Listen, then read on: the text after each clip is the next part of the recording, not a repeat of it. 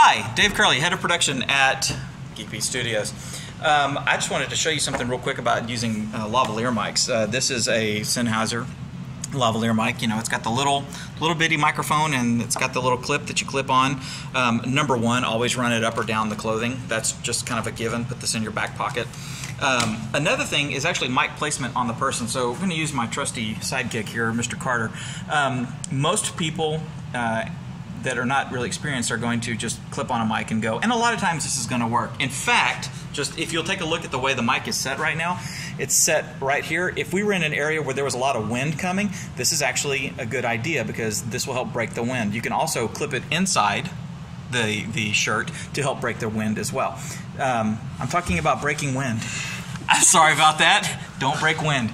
Um, but another thing is, if you'll take a look at our setup, back up just a sec.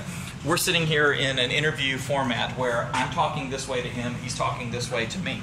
So when you're looking at this, if he's looking at me talking like this, he's talking away from his microphone.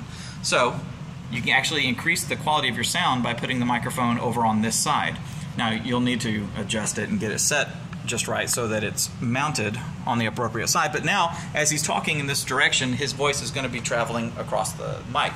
Another thing you can do when folks are wearing t-shirts, a lot of time the neckline of the t-shirt comes right up here and they're putting a mic like right here. You don't want to do that. You can move it off to whichever side he's going to be talking to and you can also turn it upside down so that when it's clipped on it's not going to be up by his neck. It's going to be down here in a more natural mic position. Going down, going up is okay. These are omnidirectional. They're not um, they are not uh, cardioid mics, so it's not going to be you know it's not going to have to talk right to it in a certain area. It's going to pick up everything around here. So anyway, I hope that helps get, get a little bit better sound with your lapel mic.